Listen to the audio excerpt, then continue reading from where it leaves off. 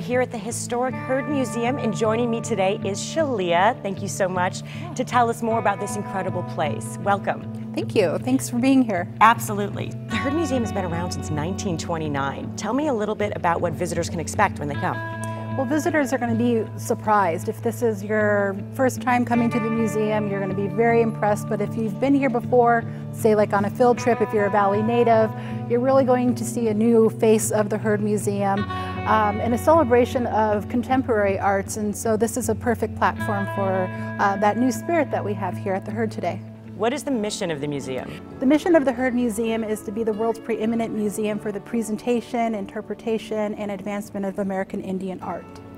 Fantastic. And I understand that you have a wildly popular exhibit happening here right now, uh, Frida Kahlo and Diego Rivera. Tell us more about it. That's correct. We have the Frida Kahlo and Diego uh, Rivera exhibition. It will be here through August 20.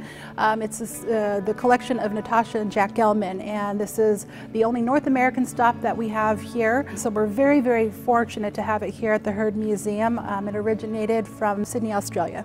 So what types of things can visitors expect to see within the exhibit? We have 33 masterpieces by Frida and Diego here in the um, exhibition.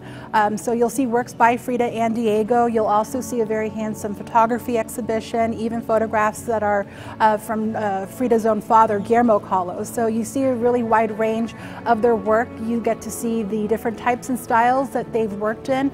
Uh, Diego had a very outward look in his approach with his uh, with his painting style, and uh, Frida had a very different approach where she internalized her feelings and painted painted that. So you get to see this uh, dialogue between the two artists um, that is, you know, put onto canvas, which is really beautiful. Fantastic. And what has been the, uh, the buzz and the feedback surrounding the exhibit? The feedback's been really great. We've been really able to tap into a new audience, art enthusiasts, uh, art history enthusiasts, and it's been really interesting to see um, people come to the museum and to celebrate Frida and Diego, but also to take a look at our other galleries that we have here at the museum and to learn a little bit about the history of the Heard Museum and what we have here to offer. Fantastic. Thank you so much for the great information.